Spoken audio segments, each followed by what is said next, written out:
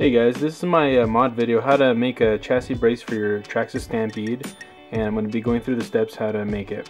For this mod all you need is a, a hacksaw, some uh, screws and an aluminum uh, rod for your chassis brace. Uh, this is actually a, a C channel uh, and we're going to be cutting it to, to make it fit. So we're gonna go ahead and take off our body mounts, the front and the rear. And now we're gonna be measuring from here to here to cut our uh, aluminum rod so it'll, it'll fit.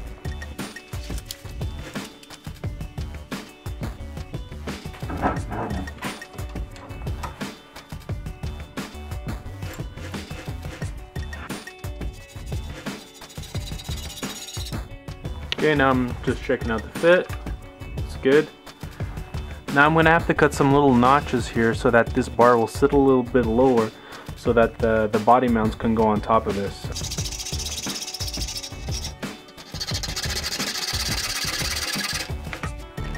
Perfect, now we got to do the same thing on the other side.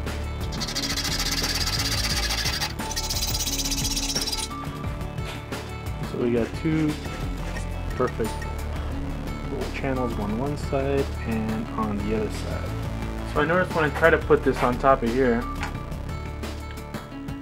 the the the chassis the chassis brace is hitting the receiver box, so I'm gonna have to make a couple of little cuts there, so that uh, that will fit better.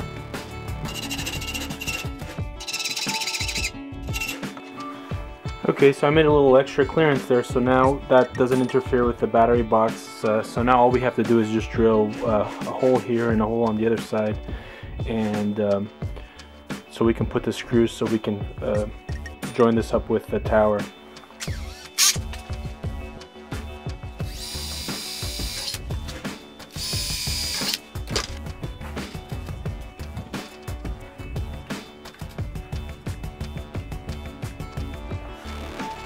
So now we just do a little quick fit, make sure that the holes line up, everything looks good, make sure it's not interfering with anything.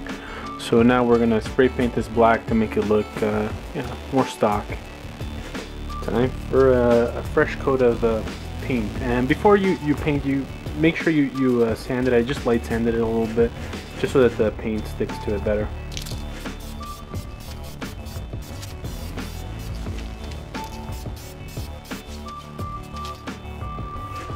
So now we just need to let this paint dry and uh, put it on, see how it looks.